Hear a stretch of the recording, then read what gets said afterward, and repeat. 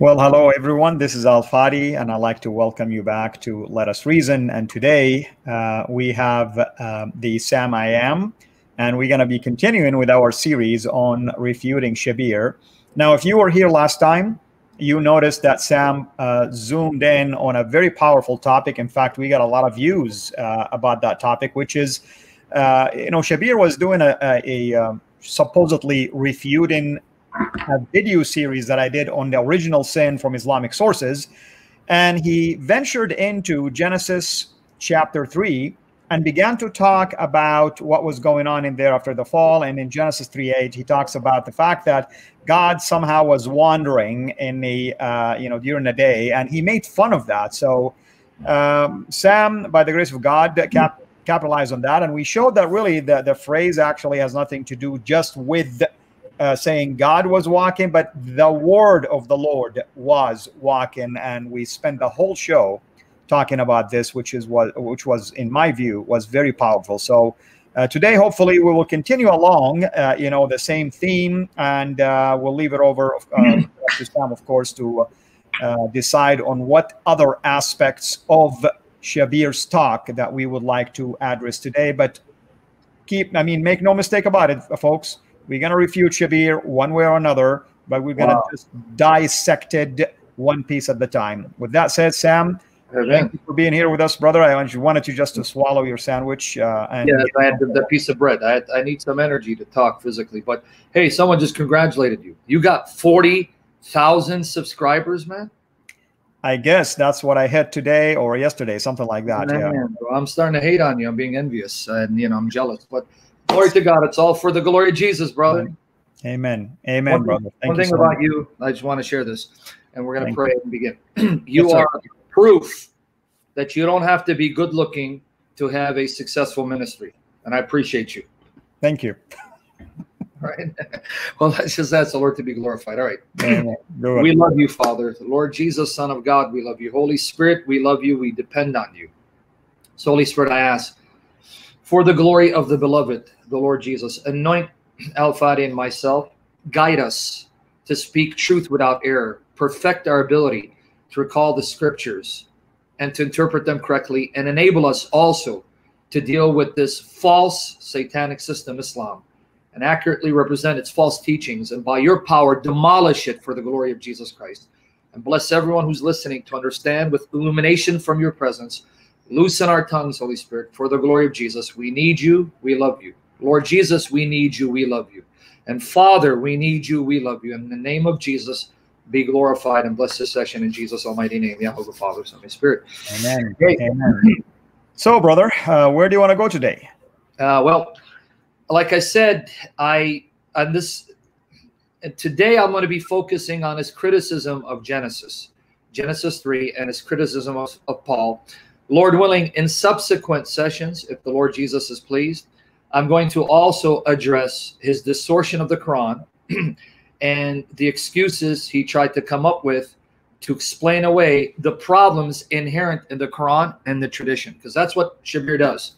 Shabir is infamous for rewriting Islam. In other words, when you talk about Shabir and Islam, it's not Islam, it's what I call his Islam, meaning Shabir's version of Islam that does not exist historically, does not exist in the Quran and the Hadith. He simply makes it up as he goes along, reinterprets the Quran and Hadith, or explains them the way, or simply rejects the Hadith. Because I'm going to have to say this. I'm being as honest as I can to the Lord Jesus. I'm not interested in being politically correct. The problem is, too many Christians have given Shabir the respect he does not deserve because they think they're honoring the Lord Jesus Christ when they honor this charlatan. He's a charlatan, he's a snake, he's not a man of integrity. And that's simply the truth. And here, Christians, I'm going to challenge you. Do not let myself or Al Fadi or William Lane Craig or Mike Licona model what Christianity is supposed to be like and how we're supposed to treat unbelievers. what I want you to do, and please take me up on this challenge. Here's my challenge to everyone. I want you to read the scriptures and I want you to show me any single place where the prophets, the Lord Jesus, and the apostles treated those who opposed the truth, treated those who attacked the true God, treated those who perverted the scriptures with respect and honor and dignity. Can you show me one? This is my open challenge to every one of you. Mike Licona, William Lane Craig, Daniel Wallace, James White, Rob Bowman, myself, Al Fadi, David Wood, we are not examples for you to follow. The examples for you to follow are those inspired men and women of God, filled with the Holy Spirit, empowered by the Spirit to preach the gospel, to defend the gospel, and even die for the gospel. So, my challenge to every one of you show me, please, prove me wrong, single place where the apostles of our Lord, the Lord Himself, and the prophets before the Lord became flesh showed any respect and honor to any false prophet, false teacher, Bible pervert. And I will publicly apologize for my approach. Okay? That's my challenge. Now let's see, Al Fadi, how many people are going to be able to prove me wrong? Because we live in a time, my brother, where this westernized version of Christianity is being propped as the standard by which apologists and theologians are to live up to. And if you don't live up to that standard and that decorum, then you're shunned and brushed aside as being hateful, unchristlike, and you know disrespectful to the Lord. But prove me wrong. With that said, let's get into the meat of the matter. Now, I took some notes. It is vitally important for every one of you to go back on Shabir Ally's Facebook page because he didn't do this on YouTube. He did it for Facebook Live find his session on Al Fadi. Even titles. Yeah, it. just type original sin Al Fadi, you'll find it. Yeah. You, you will, huh? Okay. I didn't know that. I had to look for it. But anyway, here are some notes that I took. We're going to address one point at a time. And I'm trusting the Spirit to guide us, to save me from error, to accurately interpret the scriptures as I respond to Him. So we already dealt with cool of the day. he also said this, and I have the notes here claims that the rest of the Old Testament does not look back to or mention the Adam and Eve story, right? With the with the exception of Paul. So his argument is this is what he says. If you look at the Old Testament, you will find not a single reference to the Adam and Eve story. And if you go to the New Testament, basically the same thing exists with the exception of Paul. So his point is it is Paul who champions the story of Adam and Eve, their fall, and its effect on human nature. So basically, this is an indirect shot on the Apostle Paul. In other words, what is Shabir trying to say? The Old Testament, Jesus and the apostles said basically nothing about Adam and Eve, their fall, and how it affected mankind. That's the Apostle Paul. And in saying that, see again, Shabir is like his father, the serpent, very subtle, and it's ironic, we're talking about Genesis 3 where the serpent will be mentioned. so he is, in a subtle way, attacking Paul, discrediting Paul for focusing on Adam's sin and its effect on the human race. when Jesus was silent on it, said nothing about it, the other apostles said nothing about Adam's sin affecting mankind, nor the Old Testament books. So you see what he's trying to do, right? he's indirectly pitting Paul against the Old Testament prophets, the Lord Jesus, and the apostles. Now, two responses. Number one, you cannot make heads or tails out of the Old Testament narrative or the New Testament without presupposing the Adam and Eve account. In other words, everything that follows, everything that flows in the Old Testament, New Testament, flows from, follows from the story in the garden. And if I had time, I'd unpack it.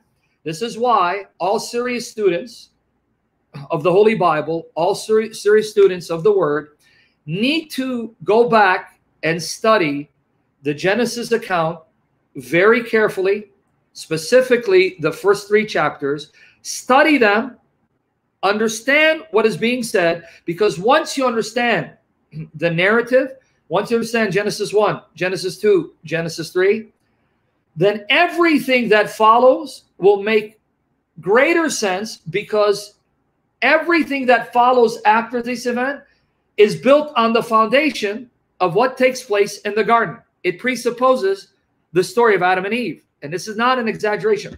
I'll give you an example what I mean.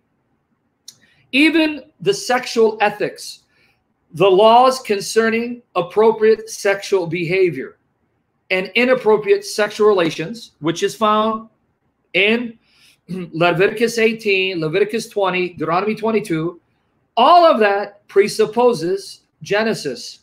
What do I mean?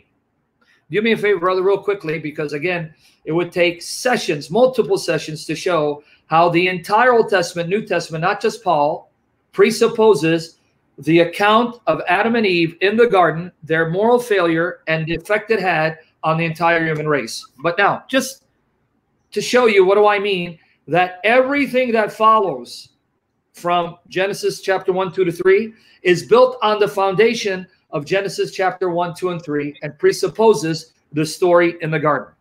Go to Genesis chapter 2, brother, if you don't, if you can. All right. Get there. When you go to Genesis 2, verses 19 to 20, read that for me.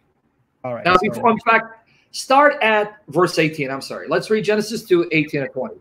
Very good. Starting from verse 18, Genesis 2. Then the Lord God, uh, the Lord God said, It isn't good for the man to be alone. I will make him a helper suitable for him. Out of the gar- uh, out of the ground, the Lord God formed every beast of the field and every bird of the sky, and brought them to the man to see what he would call them. And whatever the man called a living creature, that was its name. Verse 20. The man gave names to all the cattle and to the birds of the sky and to every beast of the field. But for Adam, there wasn't found a helper suitable for him. Guys, see, here's me. You want meat of scripture, trusting Holy Spirit to illuminate us and grant me clarity, clarity of speech. Did you catch what Genesis 2:18 said? It is not good for the male to be alone. So God is going to create a suitable helper, a helpmeet suitable, compatible with him. But many people don't read carefully and so they miss Genesis 2:20 when the animals are brought forth by the Lord God so that God would see what Adam would name them. And by the way, let me explain why God is allowing Adam to name the animals. Let's go to Genesis 2:19 one more time. You guys want meat, right? This is why it's going to be maybe 20 sessions in the series. Amen. Amen. We want to dissect him one by uh, one by one. Okay, so uh, Genesis 2. Yes, Genesis 2:19 again. It says, "The Lord God, Yahovah Elohim, brought the animals to man, Adam, the male, to see what the male, the man, would name them." Read that for us. All right. So out of the ground the Lord God formed every beast of the field and every bird of the sky and brought them to the man to see what he would call them. Now, And why did God name the animals? I know you're excited, my brother, but I just want them to see. Oh, no problem. I want them to see. Why did God not name the animals? Because people don't know this. now, people don't understand. In the Bible, when you give something or someone its name, that shows you have authority over that thing or someone. And I'll illustrate that with children. You name your children because they're your children, and that name sticks with them. And if your children are honorable and they honor you, they're going to keep the name that you gave to them. A sign of dishonor is when they change their name because they're rejecting your authority over them, your right to name them. So, in the Bible, naming something or someone indicates you have authority over that thing or someone.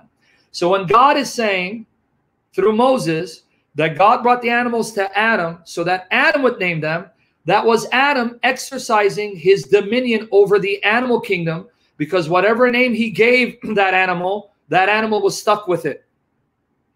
Because Right. after all, animals don't name themselves, humans do. A dog doesn't call itself a dog.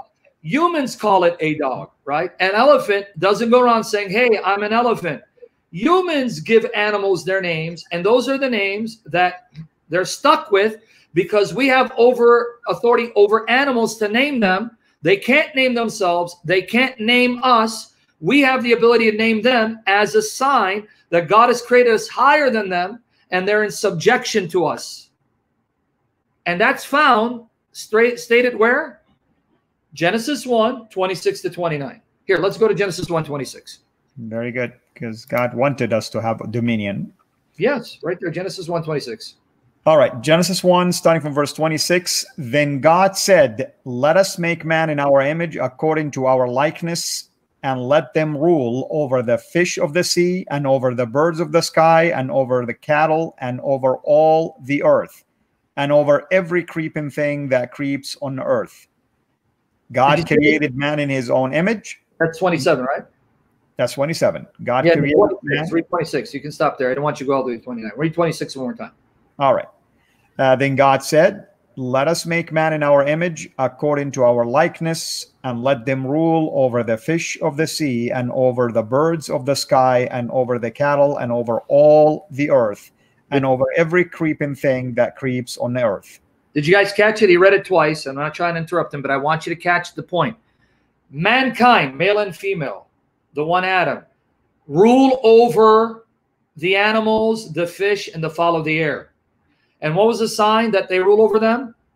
That man named them. They didn't name themselves, they didn't name mankind. Man named them. Now, to show you God's authority over man, who named man? God did. Who called man man? God did. You catch it here? But now here's something that's not going to sit well with many feminists. And I'm sorry, I'm not here to be unnecessarily offensive, but I'm not here to tickle your ears. I'm here to be biblical. I want to be biblically correct, not politically correct. Who named the woman? First, God named the female Adam, but then who gave her the name woman? The male did. Who called her Eve? The male did. Adam called his wife woman, Isha, because she came out of Ish.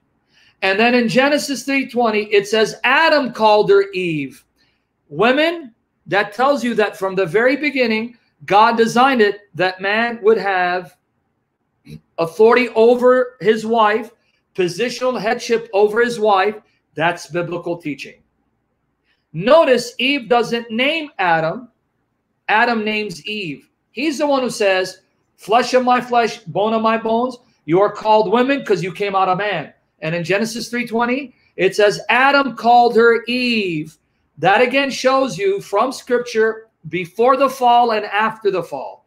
Before Adam and Eve sinned in a perfect world, perfect environment, Adam named her, and after the fall, he names her again. Folks, this is biblical teaching. And the feminization of men and the masculinization of women has led to great destruction and chaos in society, led to dysfunctional homes, raising dysfunctional kids because women want to oppose the natural order of things, the order instituted by God. And when you go against God, you create hell on earth and bring misery and destruction. Right.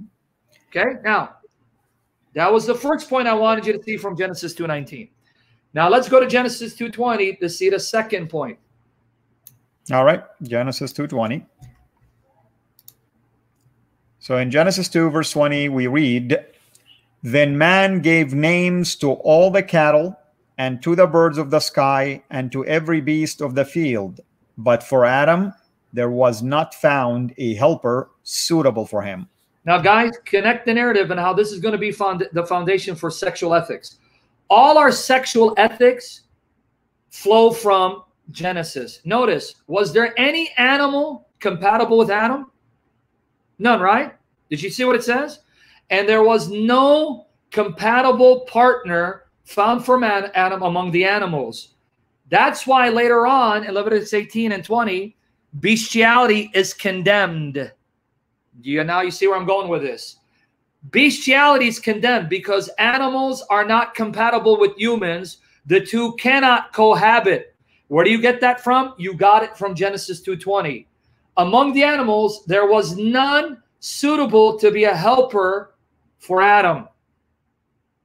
And marriage emerged out of these Well, backgrounds and I'm pretext.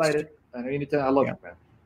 Right, Yeah. You You can, you, can text, you can text me your opinion if you like. Sure, but you get it there. So, who was compatible for Adam to be his helper? A woman. Because now, if you read Genesis 2, we're going to skip it because in 21 22, God puts him in a deep sleep, cuts his side open, and fashions a woman. Let's read Genesis 2 23 24.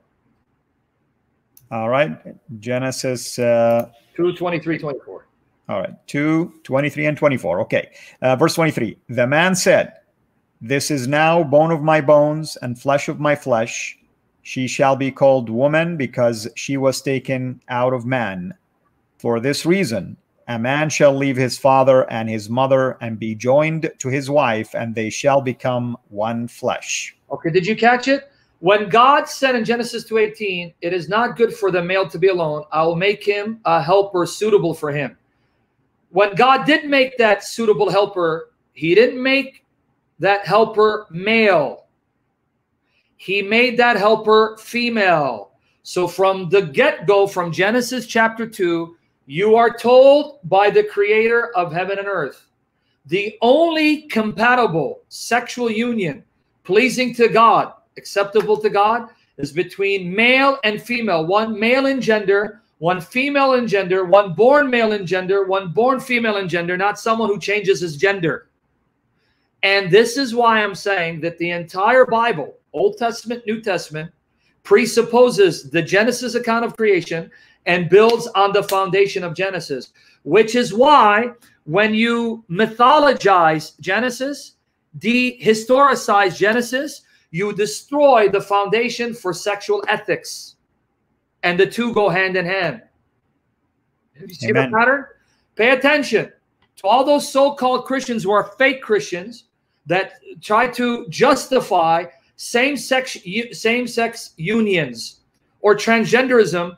Those are the same individuals who mythologize Genesis and dehistori- uh, dehistorize Genesis saying it's not historical, dehistoricize. Sorry, I'm getting a little animated.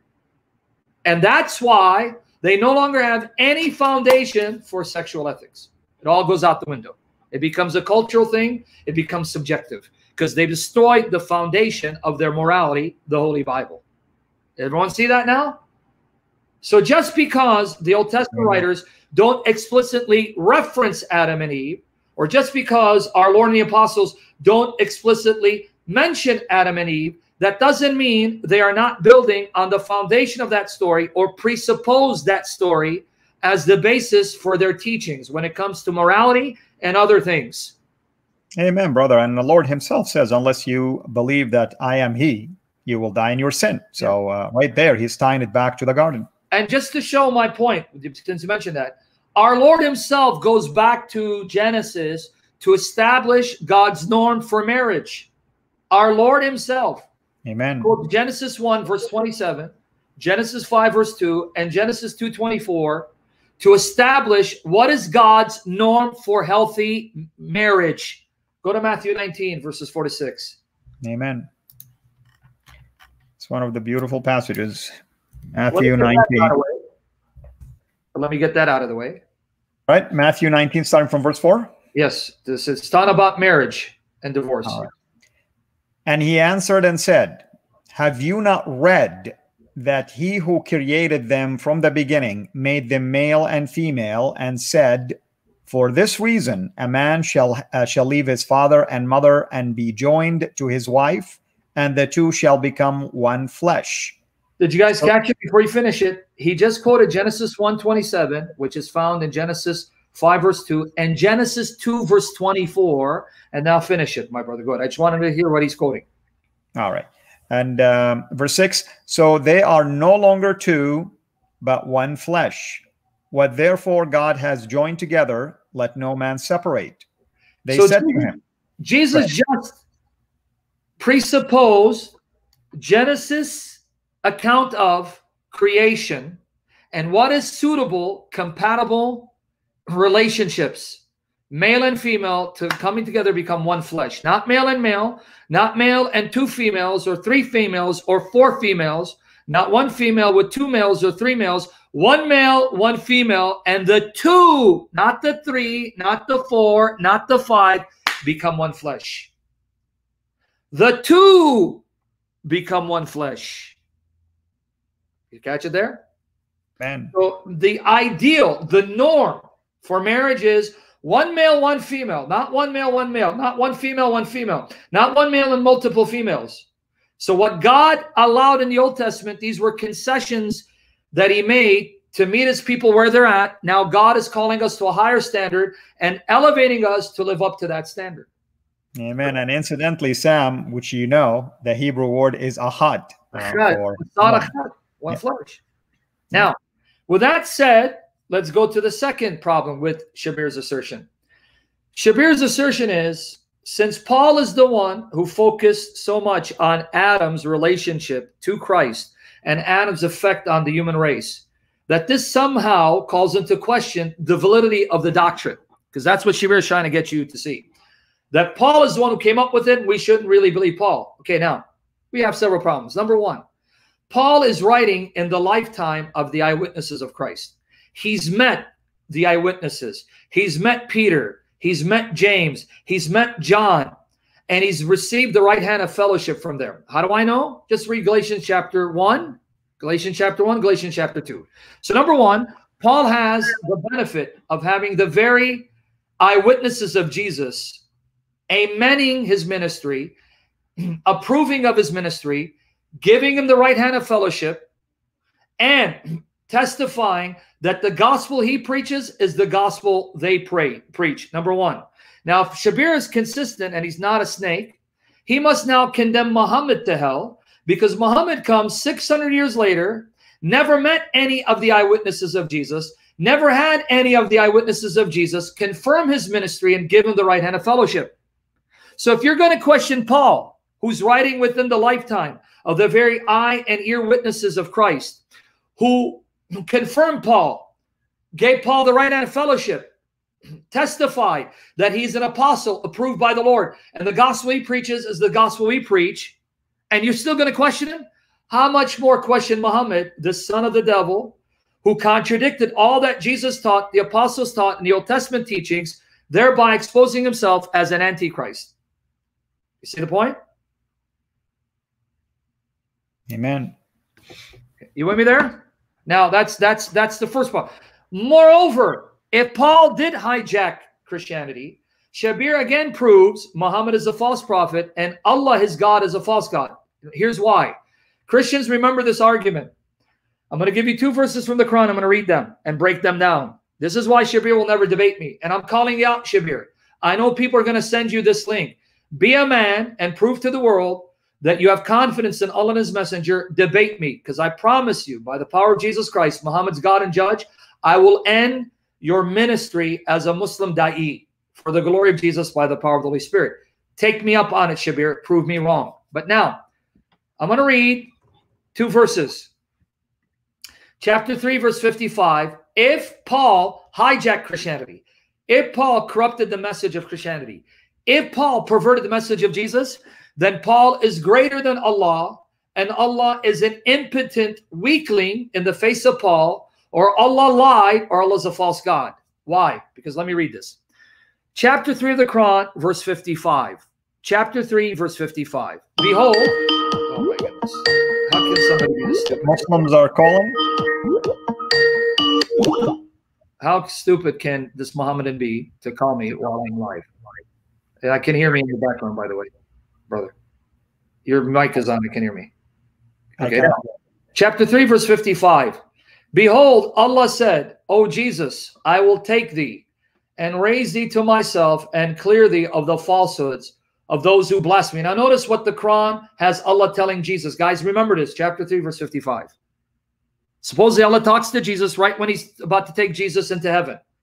I will make those who follow you, Jesus, superior to those who reject faith to the day of resurrection. Let me repeat that because Christians, if you don't remember this argument, you're not going to know how to use this to pretty much end Islam, destroy Muhammad's reputation. Okay, here. I will make those who follow you superior to those who reject faith to the day of resurrection. So here's what the Quran just said. The Quran said, from the time Allah took Jesus to be with him Jesus's followers were guaranteed to be superior, dominant, uppermost against the disbelievers, and Jesus's followers would be superior till the day of resurrection. Now, I want to make sure everyone's getting this. From the time of Jesus's physical ascension, Jesus's followers were victorious, superior. They overcame the unbelievers, And that victory was guaranteed to be theirs till the day of resurrection. Now, the Quran records Allah kept his promise. Here it is. Let me show it to you. Chapter 6, 61, verse 14. Chapter 61, verse 14. Please pay attention and get the argument. 61, verse 14. Oh, you who believe, be helpers of Allah, as said Jesus, the son of Mary, to the disciples. Who will be my helpers to the work of Allah? Said the disciples, We are Allah's helpers. Then a portion of the children of Israel believed and a portion disbelieved. But we, this is Allah speaking, we gave power to those who believed against their enemies, and they became the ones that prevailed. So, chapter 61, verse 14 said, Allah Himself empowered the believers. Exactly. Jesus empowered them they prevailed, they conquered the unbelievers, and they would be empowered till the day of resurrection. Now, let me unpack the implication.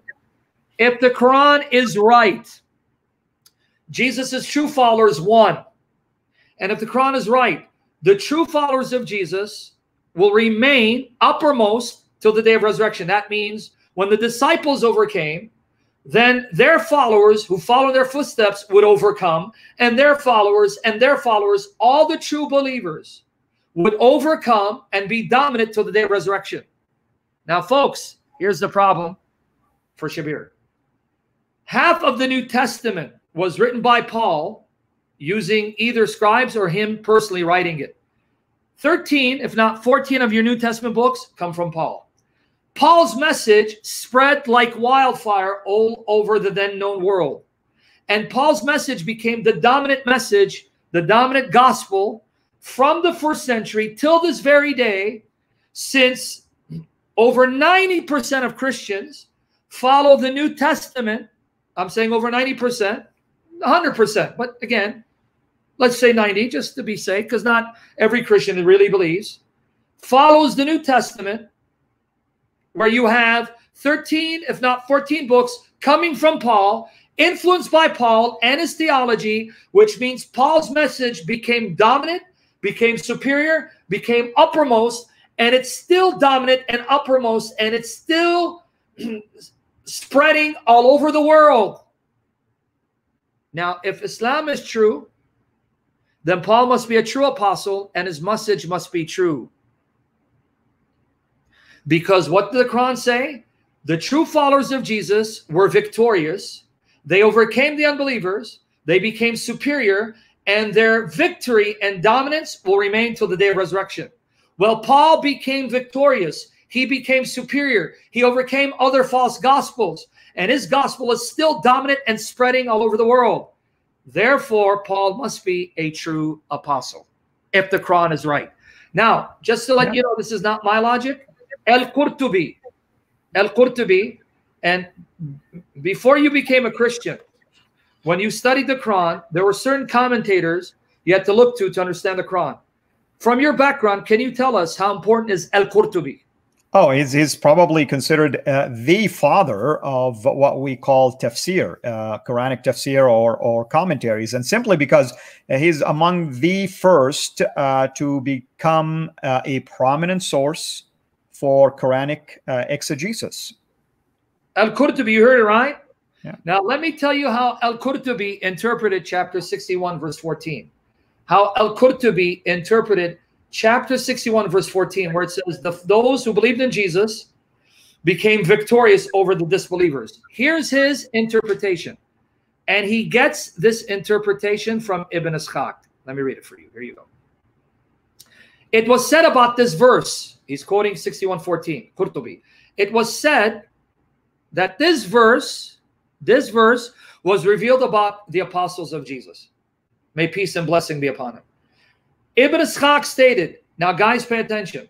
Who are the apostles that believed in Jesus, that won, and were made victorious?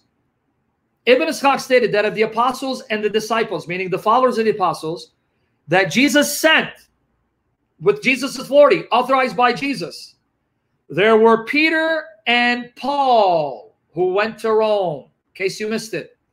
Among the apostles and disciples that Jesus sent out, one of those that Jesus sent out was Paul, who accompanied Peter to Rome. Peter and Paul went to Rome, and then mentions others Andrew and Matthew, who went to the land of the cannibals, Thomas, who went to Babel and the eastern lands, Philip, who went to Africa, John, who went to Damascus, which is a tribe to whom the sleepers of the cave belong.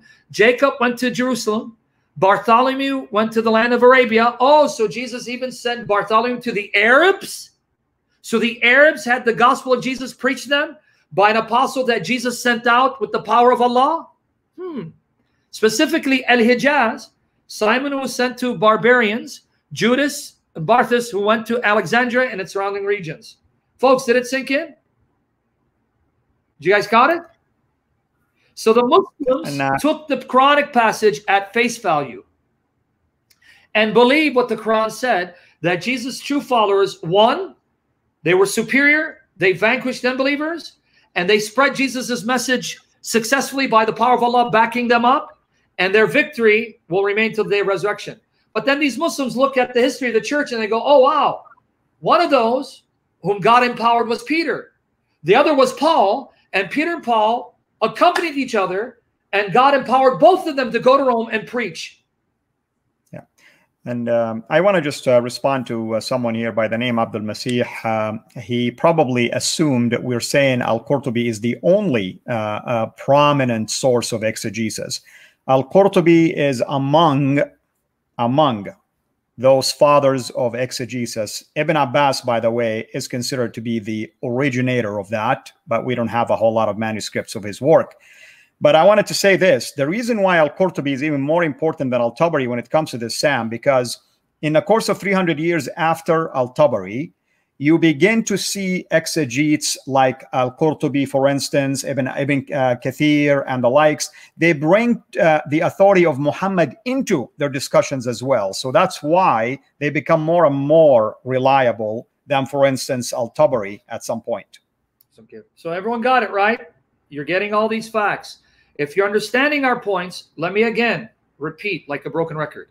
The arguments we're giving you are spiritually battle tested arguments, arguments used in spiritual battle that have been perfected by the Spirit. They're irrefutable, folks. They are irrefutable. If you understand the arguments, use the arguments, use the material. And I got articles on this on answeringislam.net and on my blog. So if Shabir is right to question Paul, Shabir just destroyed the Quran, destroyed Muhammad and his God. You with me there? Did you catch it? You see what he did? In other words, if Paul is the one who came up with this concept of Adam and its effect on humanity in order to contrast Adam with Jesus, the last Adam, and that message has become dominant and it's spread to the point that all Christians have been impacted by Paul's view of Adam, the fall of Adam, and its effect on humanity. Anthropology. And yet, Paul is a false apostle. That means either Allah lied when he said the true followers of Jesus won, or Allah wanted to help Jesus' true followers, but Paul proved to be so much greater and better than Allah that Allah was not able to stop Paul. Paul was able to defeat Allah, overcome Allah, making Paul greater, not Allah. So Muslims need to start saying, Bulus el Akbar, Bulus el Akbar, Paul the greater, because he's greater than Allah and his messenger. But Exactly. If, exactly. I mean, let me finish this point real quick, and then I want you to say something. But if Allah did keep His promise, then Paul is an instrument of Allah. Allah backed up Paul. Allah empowered Paul. Allah is a true servant, and His message is the truth, which means Muhammad is a fake and antichrist, a son of Satan, for contradicting Paul. And Allah never spoke to Muhammad. That's true. And you know, Sam, what, so amazing to me is that why did Allah and his prophet miss the point about Paul? It would have been perfect for them to say anything about Paul. Why did they miss it? They mentioned Abu Lahab by name. Why did they miss? They mentioned other uh, prophets by name. Why did they miss to talk about Paul as a false prophet? What, what was the big deal about that? They could have condemned him. Whereas all, well, let me be careful. A great majority of Muslim scholars, both early and later, confirm Paul was a true apostle sent by God to preach the message of Jesus Christ. And we have this article on the blog. I'm going to post it in the comment section. Here you go. Thanks to a brother in Jesus Christ, someone took the trouble of going to these Arabic sources and translate them English. Here's the article, folks. I'm putting in the comment section. I'm going to put the link twice, and then I'll send it to uh, Brother Al to put it in the description box. Yes. Now, do that. here's the article. I just posted it. Let me give it a third time. A great number of Muslim scholars, both early Muslim scholars and later, confirm that Paul was a true apostle of God, of Jesus, sent by Jesus in the power of God to preach the message of Jesus. And I gave you the article. Shabir, your career as a da'i is over because your lies are coming to an end by the grace of Jesus Christ. So that was that one point. So I'm going to X out all the points we've covered thus far. And I want to say just one thing. I just, folks, I just blocked someone for using vulgar language against Sam. And I really don't care if he uses it against Sam, me, or anyone here. You use any vulgar language, that's the end of your presence here, period. Go ahead, brother. Well, that What that means is they're seeing by the grace of Jesus Christ, we're destroying Islam, bearing Muhammad, and exposing Allah as Satan. All glory to Jesus Christ. That's why they react this way, because they cannot refute the truth. But may Jesus make us bold lions and warriors facing anything for him and even dying for him by the power of the Spirit in Jesus' name. Now, those were the two points I addressed, the one with the cool of the day and and Paul. Let me address another canard of Shabir. And by said, the way, I, I, want you to be aware of this. Uh, we have about 10 minutes today, so okay. whatever you can, but these are powerful. Yeah. Yeah, this will be the last point because I have more, like I said, we're going to do multiple parts in the series in his body. So it's going to be probably five, six, seven, eight parts. I don't know. Amen. Amen. By the way, your good look is bringing a lot of people, Sam. Well, hopefully, I get skinnier by the grace of Jesus and get healthier and stay on my my diet by His grace and mercy, so I can get more people to subscribe to me and less people subscribe to you. I mean, if someone like you with your looks could get 40,000, I should have about 10 million, bro.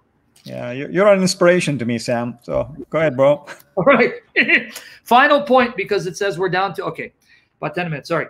He he was commenting about the serpent when God cursed the serpent. Let's go there. Let's see the, what the curse was. Let's go to Genesis 3. Genesis 3, if you're there, brother. Can you read for me 14 and 15? Genesis 3, 14 and 15. All right, I'll go to Genesis 3, 14, and 15. The judgment right. on the serpent. And this is so easy to refute, it's it's nonsensical. Yeah. So starting from verse 14 in Genesis 3, the Lord God said to the serpent, Because you have done this, cursed are you more than all cattle, and more than every beast of the field. On your belly you will go, and dust you will eat all the days of your life. Verse 15, and I will put enmity between you and the woman, and between your seed and her seed. He shall bruise you on the head, and you shall bruise him on the heel. Okay, now Shabir says that in Genesis, we are not told that the serpent is Satan. That's come that comes from later revelation, which is true. In later revelation, we're, we're told that the serpent is is Satan. So Shabir takes it at face value the serpent is an actual animal.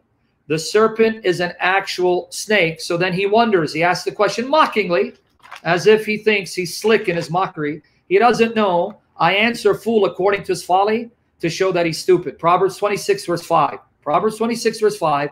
Answer a fool according to his folly, lest he becomes wise in his own mind. So I'm going to answer this fool and show how stupid and foolish he is. Proverbs 26, verse 5, folks. I'm being biblical.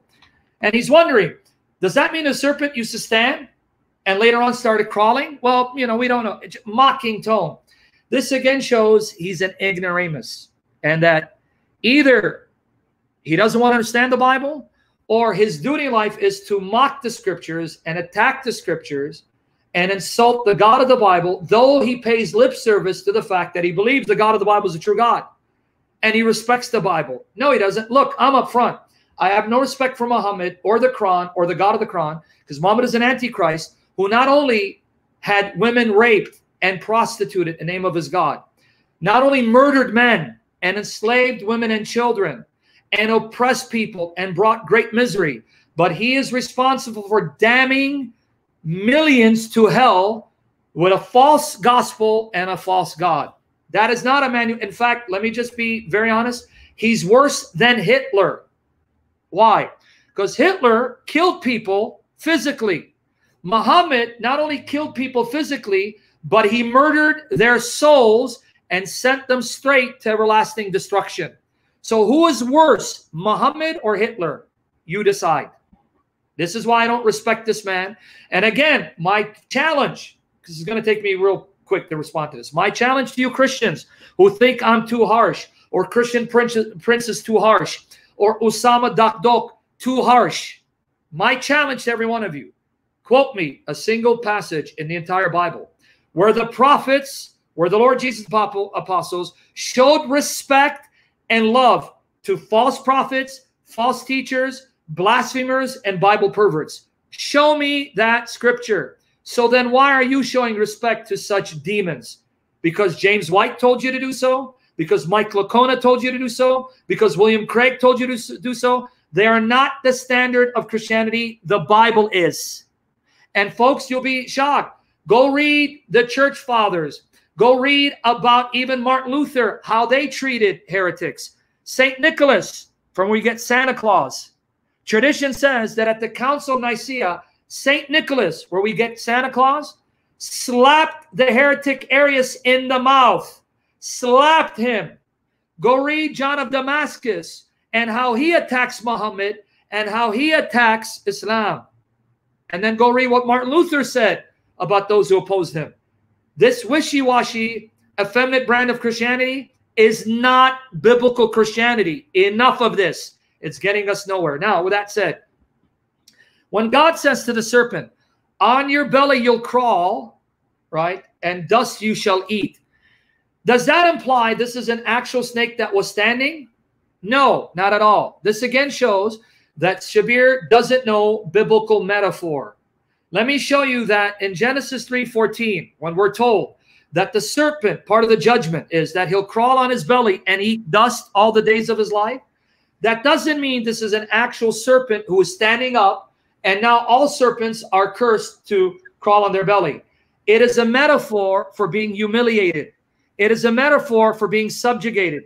It is a metaphor for being abased, destroyed, conquered, vanquished, and humiliated. Let me prove that to you. Can you go to Psalm 72, verse 9? Psalm 72, verse 9. All right. Hey, Victor didn't get it. Victor, are you listening, Victor? I just told you it's not an animal that the serpent probably had legs.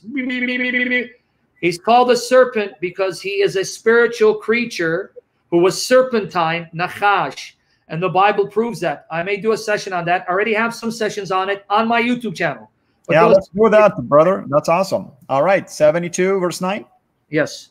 All right, Psalm 72, verse 9 is where it says, Let the nomads of the desert bow before him and his enemies lick the dust. They're going to do what, brother? Lick the dust. Who? The enemies of the anointed king, right? Bow before him and lick the dust. In other words, when he conquers his enemies and he vanquishes them, he's going to humiliate them by having them having them lick the dust of the ground. See, this is a metaphor. Licking the dust is a metaphor. And from the Middle East, we know that that's what it means. And from the Middle East, if you if you start talking to me this way, you are humiliating me when you're talking yeah. about licking the dust and bowing down and things like that. And let me give you another example. Micah 7, verse 17. And then I guess we're done. Well, are we done? Micah 7, verse 17. Micah 7, verse 17. All right. So verse 17 reads Micah 7, verse 17. It says, They will lick the dust like a serpent, mm-hmm. like reptiles of the earth. They will come trembling out of their fortresses to the Lord our God. They will come in dread, and they will be afraid before you. They will do what? They will lick the dust like a serpent. You see the point now. Human beings lick the dust like reptiles and serpents. What does that mean? They're being humiliated. They're being vanquished. They're being conquered. They're being abased for their persistent rebellion against the true God. So when God says to the serpent, On your belly you will crawl, and you will lick the dust all the days of your life. That doesn't mean the serpent was an actual animal who used to walk on its legs, and then now the legs were cut off, and now it's cursed to crawl. The serpent, according to the totality of Scripture, the totality of Scripture, okay? If you interpret Genesis in light of its immediate and overall context and how the Jews understood this passage, I'm not talking about modern Jews, I'm not talking about liberals, I'm not I'm talking about the ancient tradition. The serpent wasn't an actual animal, he was a spirit creature whom the New Testament identifies as Satan. The word Nachash, Nachash, even in Numbers 21, verses 9 to 9, verses 4 to 9. Write down Numbers 21, verses 4 to 9. If you read Numbers 21, verses 4 to 9, there you'll see that God sent upon the Israelites fiery serpents. Go back and see what the words are in Hebrew. Hanachashim hasafarim. Uh, uh, seraphim, I'm sorry. What I get Safarim? I get Safarim confused with Seraphim because Safarim are scribes. Hanachashim ha Seraphim. Why is that important? Go back. Don't take my word for it. Those fiery serpents are called Hanachashim ha Seraphim. Saraf. Do you know why that's important?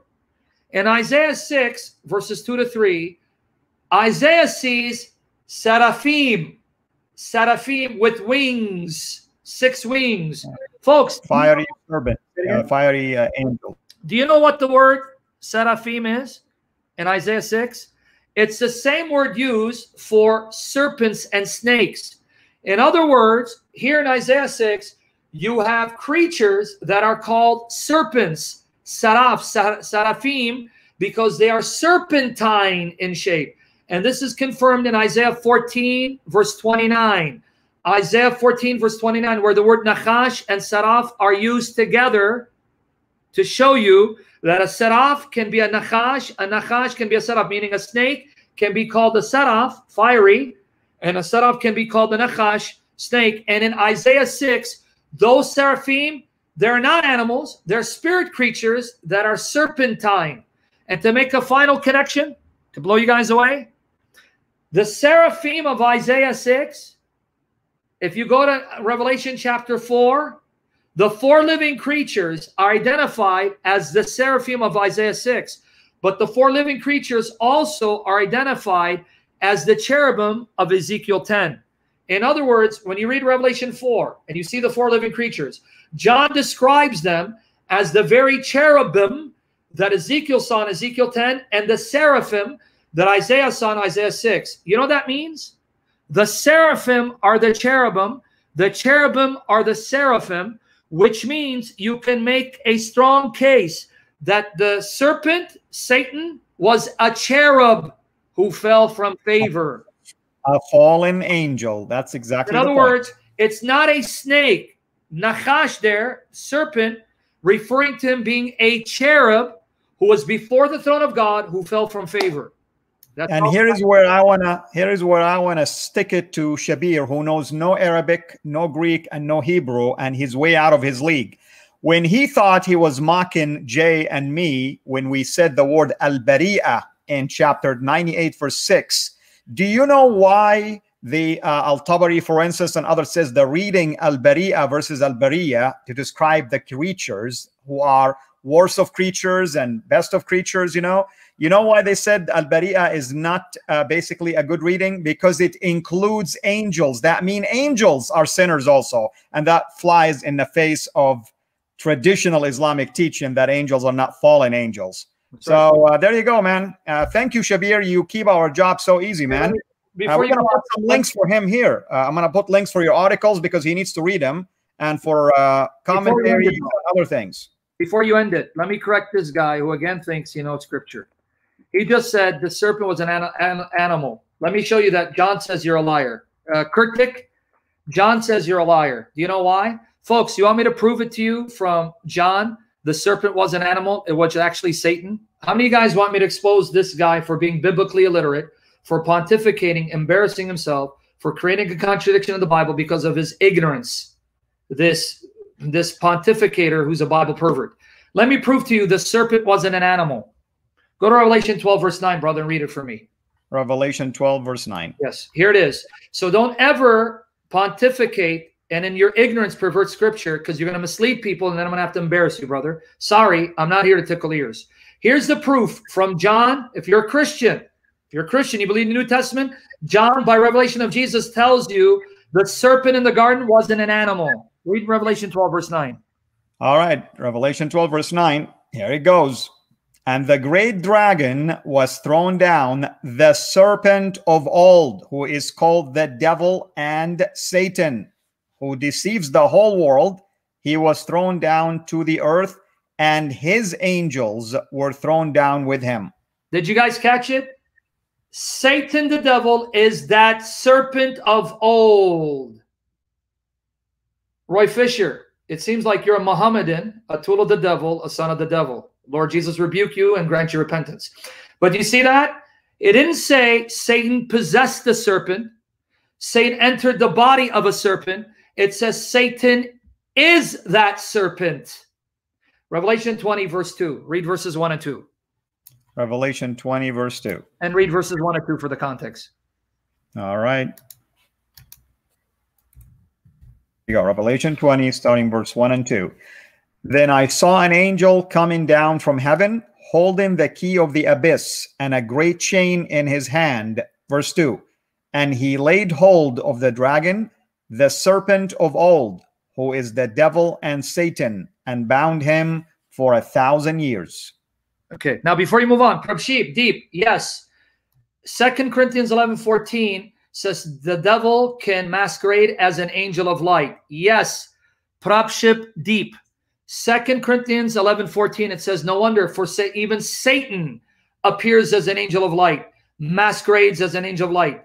Spirit beings are created with the ability to change their shapes. So, yes, there's your answer. End of story. If you're a Bible believing Christian, that serpent is not an animal. That was Satan himself. Nor does the Bible say Satan possessed the serpent. It says Satan is the serpent, like Satan is the dragon. Now that's it. Time is up. Christ is risen. He is Lord. We love you, Father, Son, Holy Spirit. Keep us in love with you. Make us holy. Give us the help and the provisions to serve you unto death. Maranatha, Lord Jesus, come. Amen. Amen. I hope everybody's benefiting from these deep, deep teachings. And brother, we're looking forward to the next one. Thank you, everyone, for being here. Thank you for those who gave. We appreciate your love and sacrifice. Thank you for the moderators for an amazing job you did. And folks, Yes, I blocked more than one person as we are going through the show. You know why? Because I have no patience for those who come here to blaspheme, to distract, and to just put the spotlight on their own dumb agenda. All right. Thank you, brother. Love you. And uh, everyone here, we will see you soon. God bless you all. Take care.